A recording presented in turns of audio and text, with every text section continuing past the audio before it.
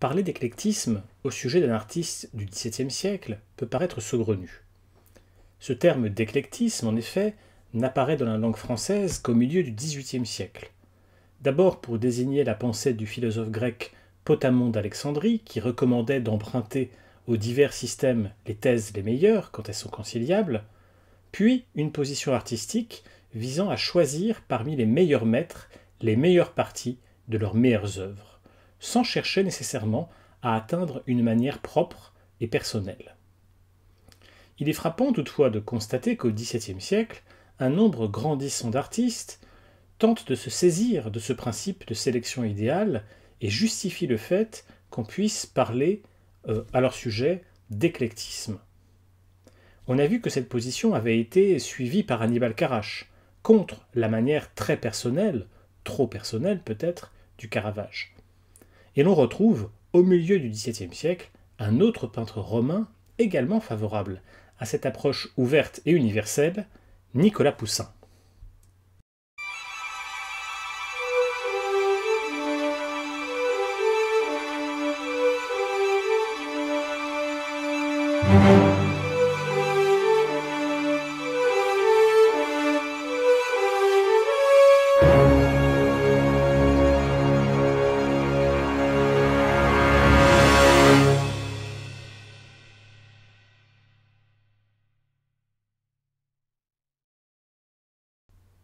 Nicolas Poussin est un peintre qui croit fondamentalement dans l'idée que la peinture est d'abord, pour paraphraser ici Léonard de Vinci, une causa mentale, une chose mentale.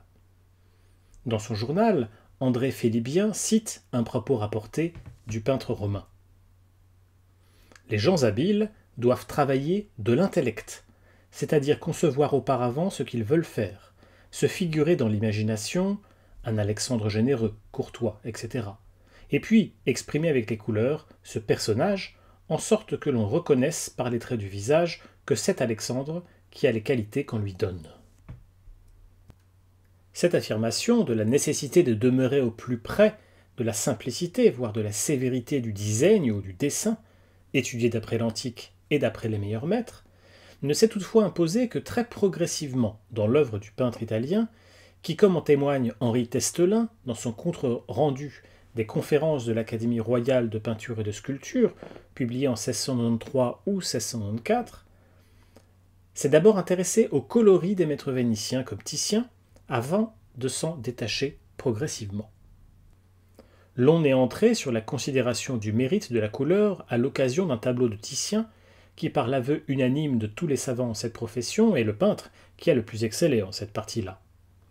Mais après avoir remarqué dans cet ouvrage que ce grand homme possédait si admirablement la connaissance des effets de la couleur et en faisait ainsi bon usage, que nonobstant la vivacité des éclats de lumière qu'il y faisait paraître, dans le ciel de ses paysages, les carnations des figures qui y étaient opposées, ne laissait pas de paraître plus avantageusement que beaucoup d'autres coloris qui sont favorisés par des fonds bruns que l'on voyait dans les ouvrages de beaucoup d'autres auteurs.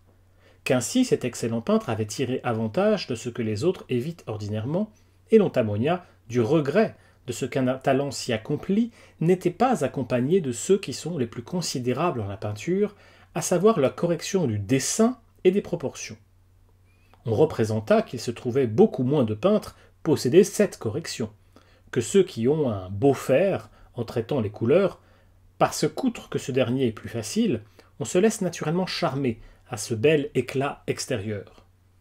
L'on avoit bien que cette partie est très nécessaire, mais l'on dit qu'il ne s'y fallait pas tant attacher qu'au principal. Que d'en faire toute son étude, c'était se laisser éblouir par l'apparence d'un beau corps, sans considérer ce qui le doit animer.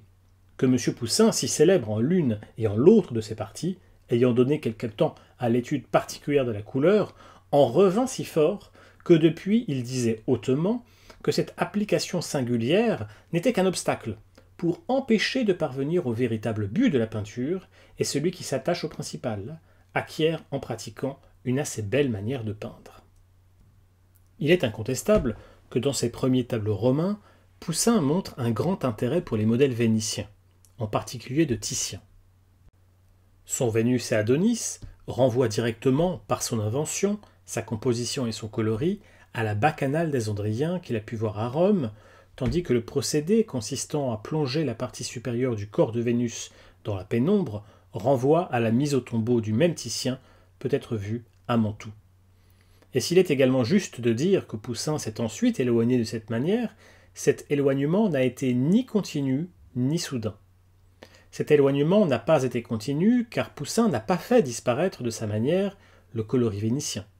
Nous verrons dans quelques instants qu'y compris à la fin de sa vie, il continue épisodiquement de montrer un intérêt pour le coloris unitaire des maîtres vénitiens, parmi lesquels il convient également de citer Paul Véronèse.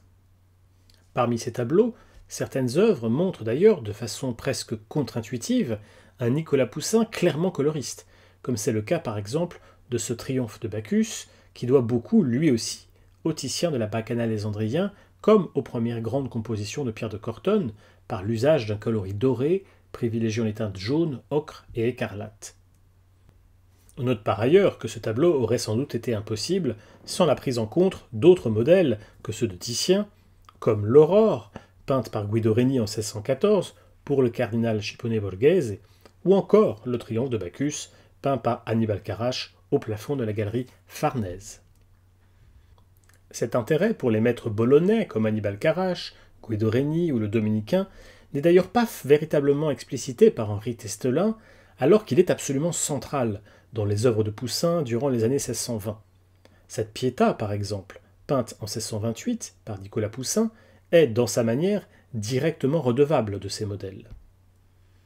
Les deux angelots en pleurs, dans le coin inférieur droit, constituent une paraphrase évidente de la Pietà d'Annibal Carache, aujourd'hui conservée au Museo Capodimonte de Naples, dont Poussin retire le clair-obscur violent, d'inspiration caravagesque, pour adopter un coloris plus homogène, avec une touche sèche et très apparente dans les réaux de blanc, mais en reprenant ces deux petites figures d'une grande efficacité pathétique.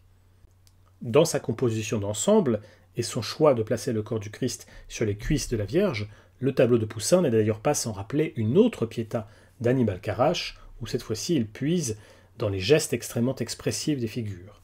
Je pense notamment au bras tendu de Marie-Madeleine.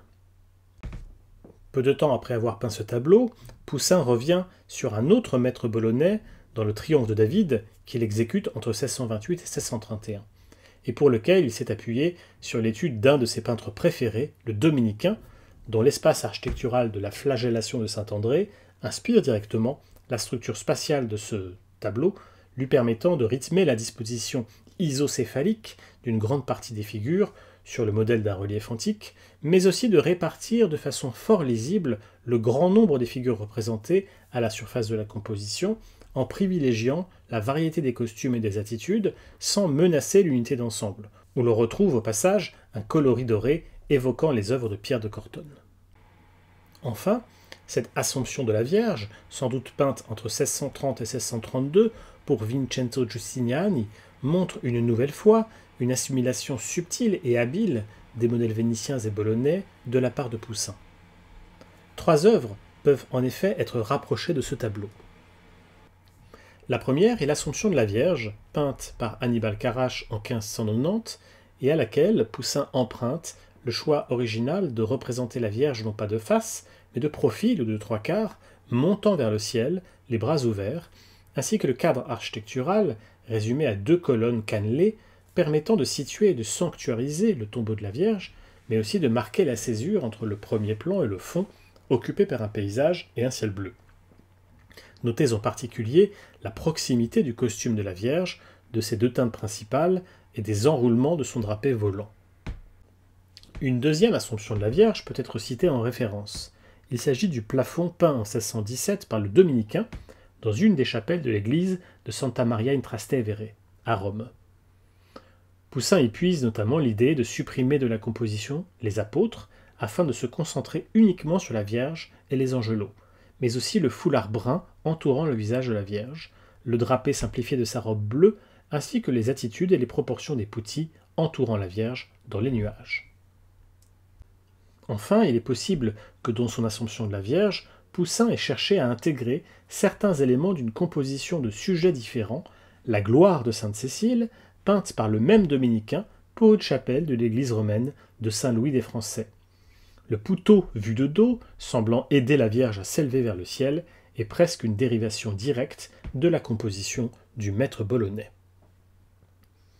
Nicolas Poussin, avant d'être un peintre supposément classique, est donc d'abord un peintre éclectique, capable d'imiter la manière de nombreux peintres qu'il apprécie, les intégrant dans sa propre manière, mais toujours marqué par un souci de lisibilité et de variété expressive qui caractérise aussi l'œuvre d'un grand nombre de ses contemporains. Il est d'ailleurs frappant de constater que Nicolas Poussin a lui-même théorisé cette variété, cette souplesse, cette adaptation dans une célèbre lettre adressée à Paul Fréard de Chanteloup le 24 novembre 1647. En 1644, Paul Fréard de Chanteloup commande à Nicolas Poussin une série de sept tableaux sur le sujet des sept sacrements. Ces tableaux sont peints entre janvier 1644 et 1648. Entre avril et octobre 1644, Poussin peint d'abord l'extrême-onction, puis la confirmation, entre avril et décembre 1645, le baptême, entre février et novembre 1646, et la pénitence, entre février et juin 1647. L'Eucharistie et le mariage seront livrés entre septembre 1647 et mars 1648. Mais avant cela, Frère de Chanteloup écrit à Poussin pour se plaindre des deux derniers tableaux livrés, le baptême et la pénitence, qu'il compare au Moïse sauvé des eaux qu'il a eu l'occasion de voir chez le banquier Jean Pointel, pour lequel Poussin avait réalisé cette œuvre. Et il juge ce tableau infiniment meilleur que ses propres œuvres. Poussin tente donc de s'expliquer sur la différence de manière qui peut être notée entre ces tableaux en soulignant qu'elle était voulue, puisqu'un artiste, selon lui, doit adapter sa manière au sujet qu'il traite. Si le tableau de Moïse, trouvé dans les eaux du Nil, que possède M. Pointel, vous a donné dans l'amour, est-ce un témoignage pour cela que je l'ai fait avec plus d'amour que les vôtres? Voyez-vous pas bien que c'est la nature du sujet qui est cause de cet effet, et votre disposition, et que les sujets que je vous traite doivent être représentés par une autre manière? C'est en cela que consiste tout l'artifice de la peinture.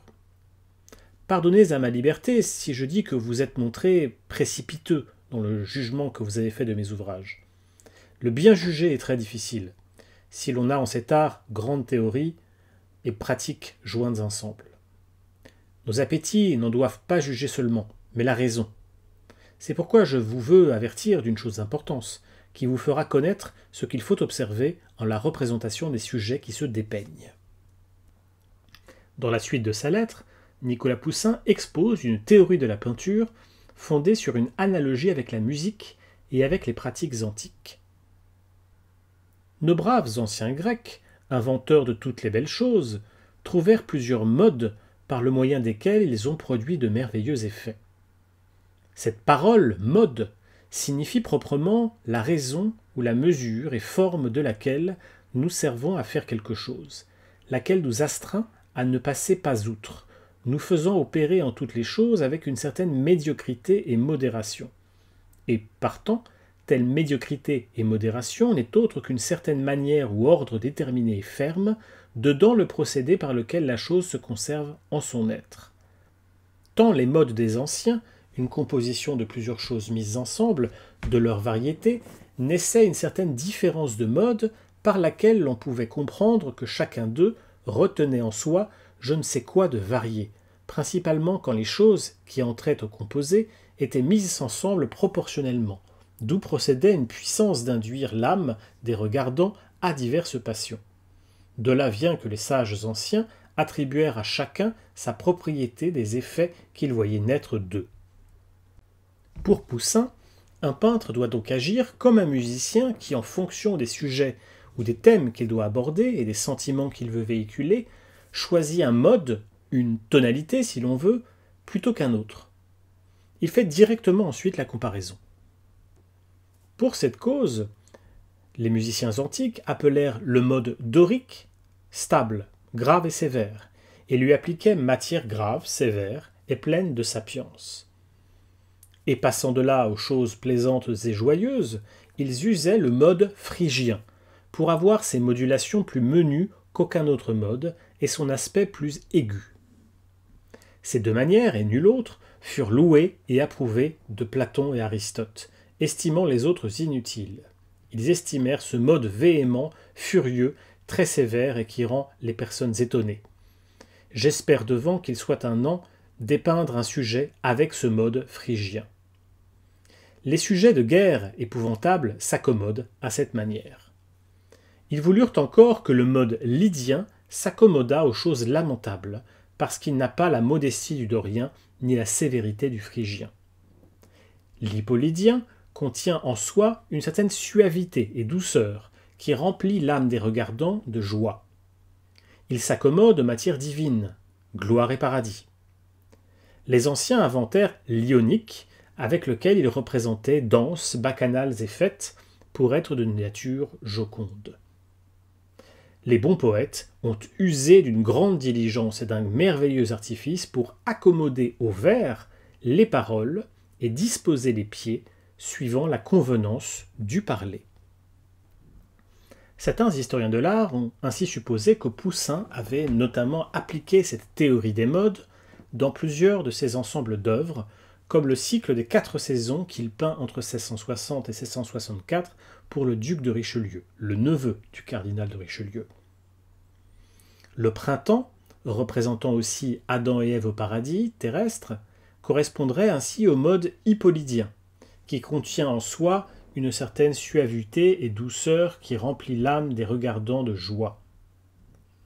L'été, qui figure l'épisode biblique de Ruth et Bose, correspondrait au mode dorique, qui selon Poussin est stable, grave et sévère, et convient aux matières graves, sévères et pleines de sapience. L'automne, qui renvoie à l'épisode des raisins de Canaan, correspondrait au mode ionique, qui représente des danses bacchanales et fêtes de nature joconde, c'est-à-dire joyeuse. L'hiver et son déluge, enfin, relèveraient du mode phrygien, qui est un mode véhément, furieux, très sévère et qui rend les personnes étonnées.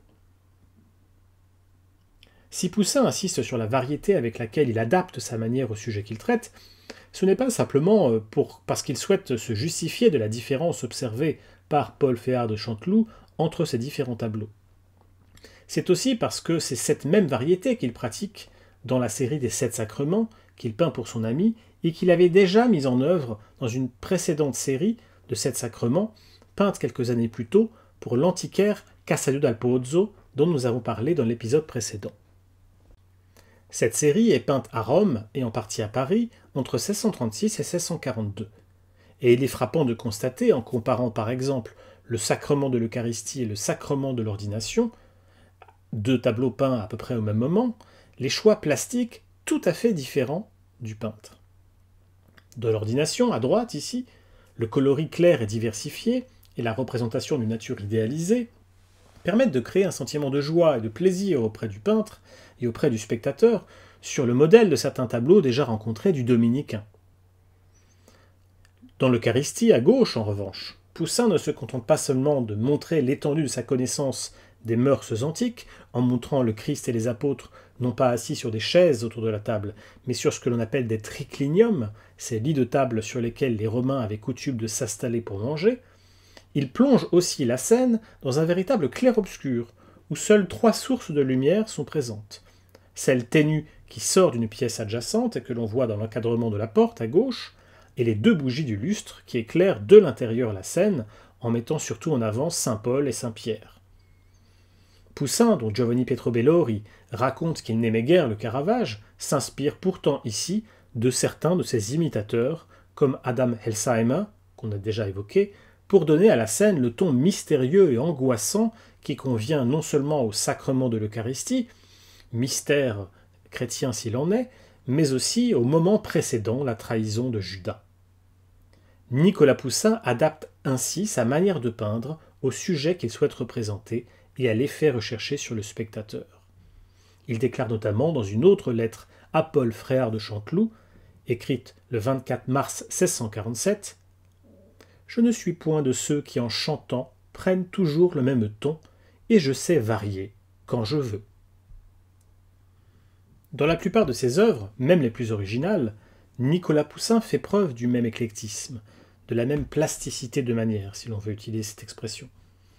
Ainsi en est-il du célèbre Et in Arcadia Ego, dont nous connaissons deux versions. L'une fort sombre, très titianesque, conservée dans le château de Chatsworth, et l'autre, plus proche des modèles bolonais, conservée au musée du Louvre, et qui sont toutes deux dérivées d'une œuvre du Guerchin. Le sujet est similaire. Il s'agit de montrer la découverte par des bergers et des bergères d'une tombe mystérieuse perdue dans le paysage idyllique d'Arcadie, où se trouve une phrase latine Et in Arcadia ego, qui peut signifier aussi bien moi, c'est la mort qui parle, je suis aussi en Arcadie, que moi, qui suis mort, j'ai aussi vécu en Arcadie. Dans un cas comme dans l'autre, le tableau s'apparente à une vanité. Dans le plus beau des pays, la mort guette toujours et finit par vaincre. Nicolas Poussin a souvent été considéré comme l'un des principaux représentants du soi-disant classicisme français. Je vous renvoie à l'excursus consacré à cette notion. Notion qui convient d'ailleurs d'éviter en histoire de l'art.